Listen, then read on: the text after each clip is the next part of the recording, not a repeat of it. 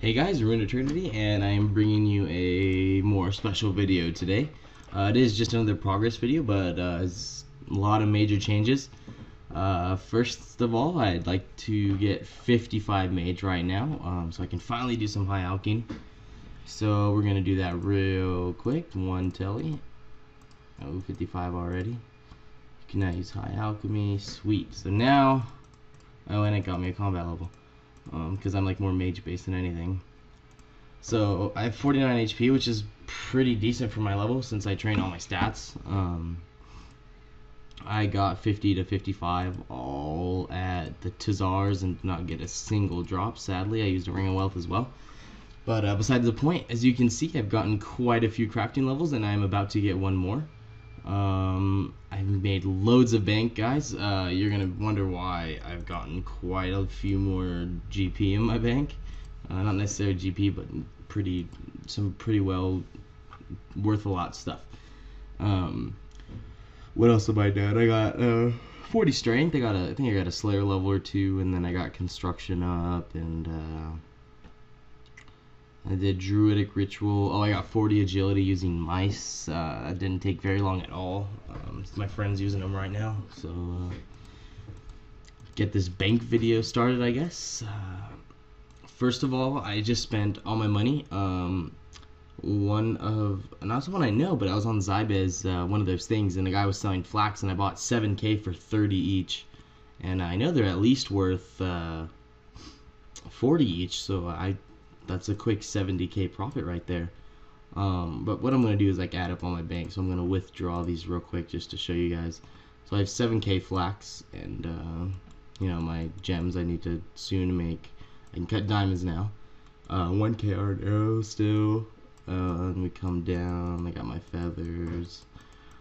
Um, if anyone's interested in buying these yew shorts, I'll give them to you for like 500 each, but you gotta buy at least like 10 or some shit because nobody buys them. Uh, we'll keep coming down. And I have all these rows because a lot of times the level 1 clues require like green gnome tops and like this is what you gotta wear. Um, my rune scimmy I already bought for what I needed and I got my rune axe for woodcutting. And I bought an obby cape, I bought a glow I have a glory, my wealth, and my cash stack.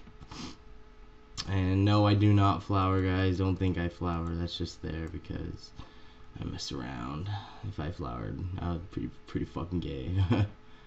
Um, I think that's pretty much everything that's worth anything in my bank.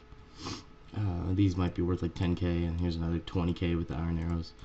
But, uh, we'll take out a calculator, and just to show you guys, we got, I'm gonna probably string a majority of these flax because I want to get my crafting up. Um, you know, hopefully, I'd like to have 80, make tons of bank, but, uh, even at 55, uh, you can make loads of bank making Ring of Wealths and uh, combat braces. You can't make till 74. So, uh, show you guys real quick. Um, if I string all those flax, they're going to be worth about 65 to 75 each. So we'll say 70 each. Oops. So 7,000 flax times 70 is 490k right there. And we'll add the rune skimming for 50k. Uh, the rune axe is like 30k. Uh, we got an Obby Cape, which is 200k. And that's already 770. And then the Glories, 60k. And the Wealth is another 65k. Plus the 88k. And then if you add my arrows and other shit, I got a good 1 mil bank, guys, which is not too bad. Uh, I'm pretty sure my last video I had like 200k. And a lot of you were probably wondering how I made all this money. But uh, sadly, I can't tell you guys quite yet. Me and my friends are using this method, and we're earning tons of gold, and we're pretty sure no one else knows about it. It's not too hard, and it's not the greatest money, but you know, look how much my bank's risen in just a few days.